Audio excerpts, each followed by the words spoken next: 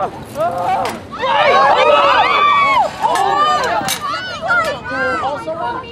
somebody.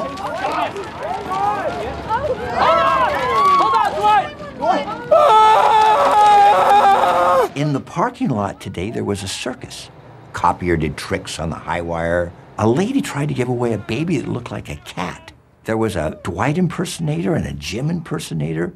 A strong man crushed a turtle. I laughed and I cried.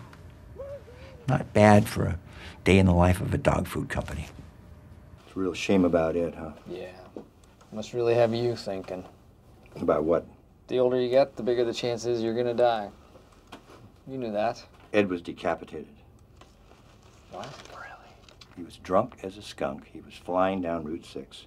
He slides under an 18 wheeler. Pop, it snaps right off. Oh, my God. That is the way to go. Instant death. Very smart. You know, a human can go on living for several hours after being decapitated. You're thinking of a chicken. What did I say?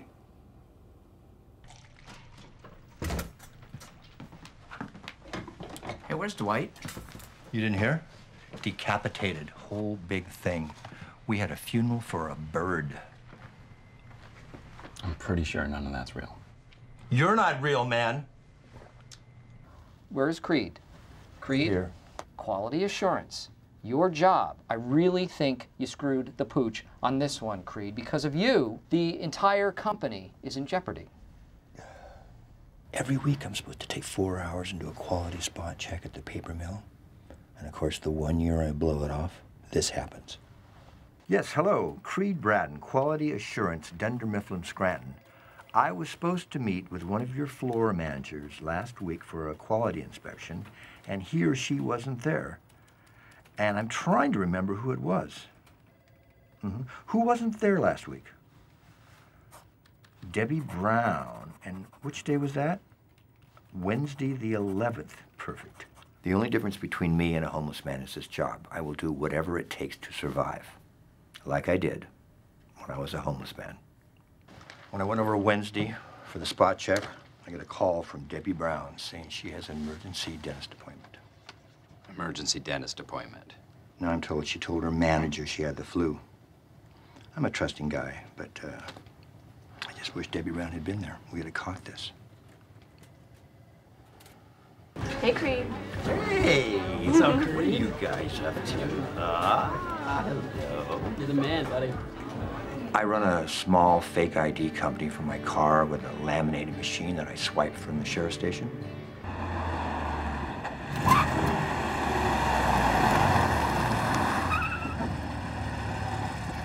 It's a beautiful morning at Dunder Mifflin. As I like to call it, Great Bratton. Keep it running. Do I love being manager?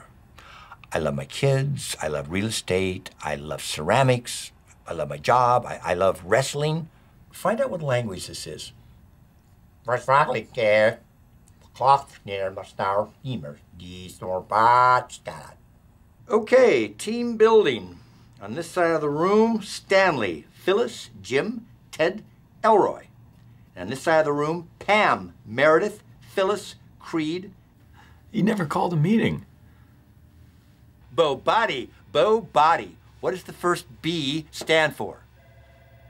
What are we doing? We're making acronyms. Okay, what does the first B stand for? Um, business. I like it.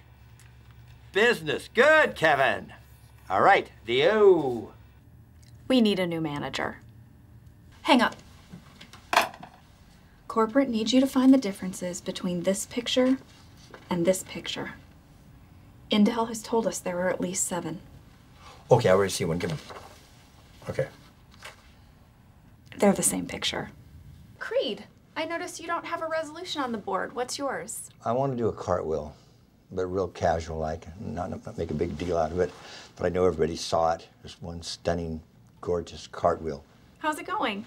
I'm having a little trouble motivating. One of the hardest parts about making resolutions is keeping them. In fact, most resolutions are abandoned by February. Or sooner. yeah. It's not a joke. But that's okay, because it's not about being perfect, it's about trying. In fact, why don't we go around and confess some of the ways that we've already fudged on our resolutions? Well, I said that I would eat more vegetables, and I haven't yet. But it's okay. I still have time since last year I ate none. Okay, well, my confession is that today I had a sip of coffee. But that's fine. Is it? Yes, because with all of your support, by this time next year, maybe I'll be down to one glass of iced tea a week. Next year? Come on. I mean, what is the point? What is the point of that? I made a resolution to floss, and I did it. 1201, January 1st, bam, blood everywhere. Well, not all of us are Michael freaking Scott. What is wrong with you people? Can't you stick to anything? Aaron, I want you to go to the kitchen and get me some vegetables. Creed, you say you want to do a cartwheel? Nothing's stopping you. Come on, old man, do a cartwheel. Well, I can't. I don't know how. You're just gonna somersault around for the rest of your life, and you know what's gonna be on your tombstone? Loser. My tombstone's already made, thank you. Just do a cartwheel. Look at where you're going to be doing the cartwheel. So look where you're going to be placing your hand. So pick a spot. Mm-hmm. You ready to do this? Yes, sir. You know what? I'm gonna stay here as long as it takes. I really appreciate it. I'm gonna spot you. I'll spot you. You don't. Go.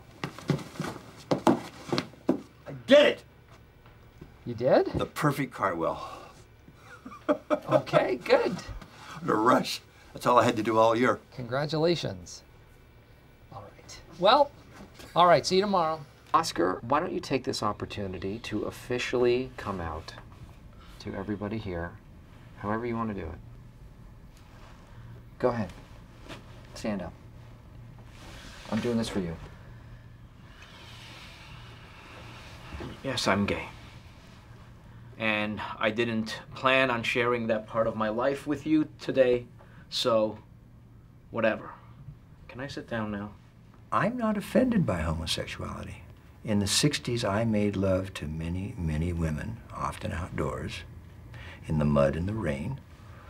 And it's possible a man slipped in. Would be no way of knowing. You know what? Don't even worry about it. Everyone was so drunk, I bet no one even remembers what you said. I remember I blogged the whole thing. www.creedthoughts.gov.www backslash creedthoughts. Check it out. Last year, Creed asked me how to set up a blog, wanting to protect the world from being exposed to Creed's brain. I opened up a Word document on his computer and put an address at the top. I've read some of it. Even for the internet, it's pretty shocking.